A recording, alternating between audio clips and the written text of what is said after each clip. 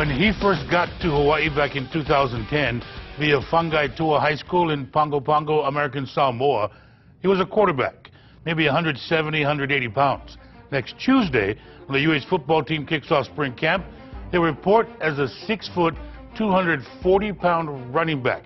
Absolute beast as a ball carrier, a sure-handed receiver out of the backfield, a blocker not many want to mess with. After sitting out his first season at Manoa, he's put together impressive numbers, and he's one of the go-to guys for the Rainbow Warriors on offense. 361 rushes for 1,601 yards, 49 catches, 362 yards, and 16 career touchdowns. UH running back Joey Iosefa, a game changer, a difference maker. He's our Hawaii MVP this week.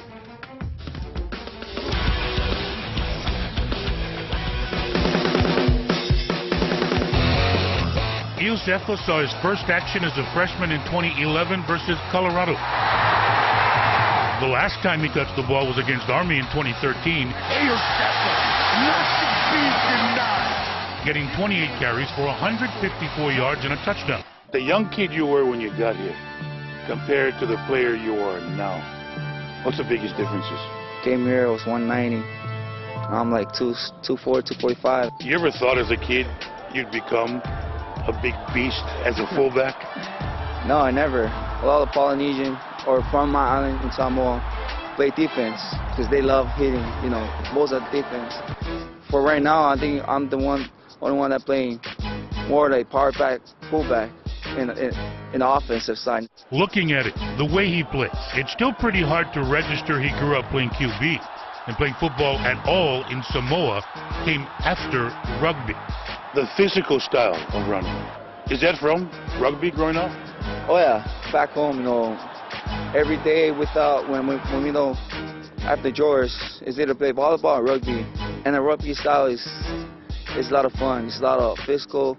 I think that's where I got some some of my skills from. Over the past few years, many have noticed Joey's work ethic, the way he conducts himself on the practice field, in the weight room. Get up, get up, get up, get up, get up, get up! Hurry up! Hurry up! Even with drill sergeants screaming at him, he goes about his business with a smile on his face.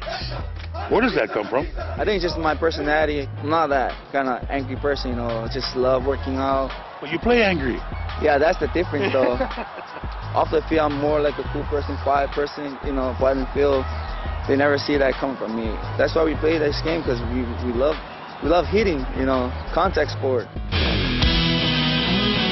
Now, due to a foot injury suffered before spring drills last year, Iosefa played only five games in 2013. Four, if you take away two early touches against Nevada, he came back too soon. But Joey still led the team, rushing for 590 yards, five TDs, and he solidified his spot as a force to be reckoned with in the Mountain West Conference.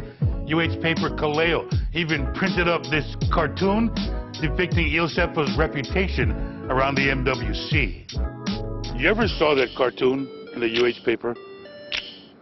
The one where the guys are all scared to death of you? Yeah, I saw I saw some of my friends um tag me on it. When I when I saw that, I started laughing. I never saw that before, so it's hilarious. What was no joke was Joey's return to full strength. 35 carries, career best 191 yards against Navy. Iosefa, lots of room.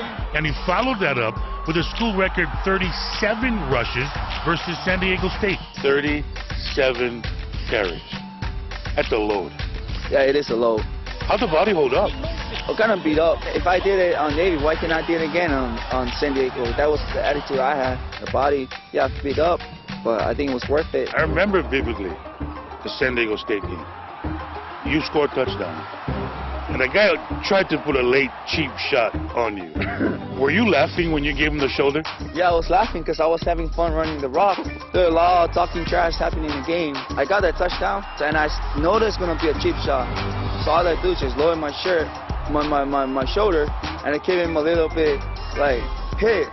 And all of a sudden, I saw him flying down, and I was laughing, you know, laughing to myself because, you know, man, if I didn't saw that coming, it would be me on the other side falling down. So I look at him and then I walk away. And speaking of walking away, just 10 days ago, Joey lost his running backs coach, Chris Wiesehan. He took a gig as offensive line coach at Temple. you're set to now enter your senior season playing for your fourth running back coach in four years. That's tough. Yeah, it's tough. I never see that coming, you know. It was kind of frustrating. A lot of people believe in me. Put my head down, just humble myself, and just work my my work my ass off. Rainbow Warriors running back Joey Iosefa, our Hawaii MVP this week. Now, if any of you have ideas who we should feature as a Hawaii MVP, hit us up at KITV.com. Now, Joey says there's expectation for big things next season, citing a much improved off-season conditioning program. And behind his current offensive line, Joey's got a personal goal of rushing for a 1,000 yards in 2014 with hopes of getting interest from the NFL. I think he'd get a lot of interest from Hawaii fans, too, if he was able he to do that. is a beast. We're looking forward to seeing him on the field. Thanks, Yep. Robert.